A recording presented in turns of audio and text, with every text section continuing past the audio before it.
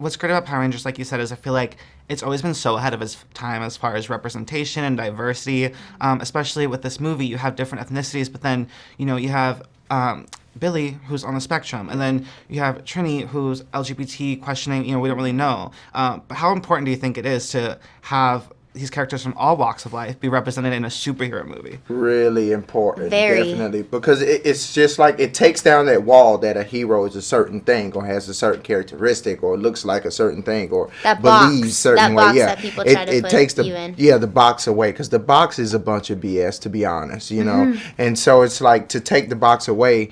Then you have an actual message. Then you can talk to people. Then you can relate to people. You know. I feel like this movie was really made for our generation. Mm-hmm. Just like how back day back back then people watched Power Rangers and they felt like that could be me. Like we get to be that for our generation. This is taking place in 2017 with real life issues uh, that that we play with, that we deal with, and uh, for us to play that was was truly an honor. We are a reflection on camera of the audience that's watching this. You know.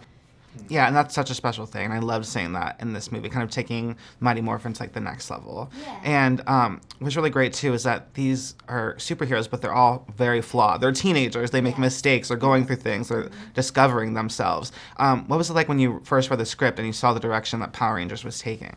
It was it was cool to be honest. It was cool and unbelievable, and it, it's just like more relatable because I, I I feel like to have such a, a great action movie, right, but with actual substance isn't mm-hmm. seen nowadays. You know, mostly superhero movies are just a bunch of bang boom random ass And it's like far fetched, you you know, yeah. And so this one to actually, you know, take away a lot of the the, you know, smoke and and, and mirrors and all that, you know, and actually show a message and and get to touch people. You know what I'm saying? Like we can relate to everybody in this movie, and that feels good.